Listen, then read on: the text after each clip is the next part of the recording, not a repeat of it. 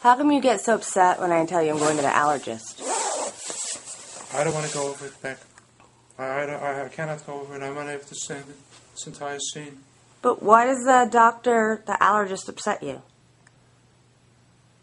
Nothing. I feel that they're in conspiracy, you know, with this electric scene against us. So what does the allergist have to do with that? Who knows what, what, what they're doing there? If I went over there, who knows what they were diagnosing cancer to lung?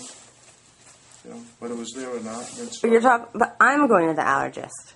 Well, that would that wouldn't stop them from you know. The, who knows if you're protected there? This guy couldn't protect you. But I work at the doctor. Or if he could, you know. You know I work with cancer patients, right? Well, it's one thing to to work with cancer patients. And another one to get allergy shots. It's another thing to, to have a problem. Allergy shots. All right. Okay. That upsets you. Th- This entire scene back upsets me. I have no solution to it. I know. You have the strength to take what? To stand what? They don't bother me. All right. I don't need the strength right, to stand it. stronger internally, so you give another five, six years, maybe see what. All right. Daddy, things are not as bad for me as they are for All you. right. Okay. All right. You leaving? Now I'm going for a walk. You're going the wrong way. Wait, I want to go in there to look at something. What? No, whatever. Okay. It's okay.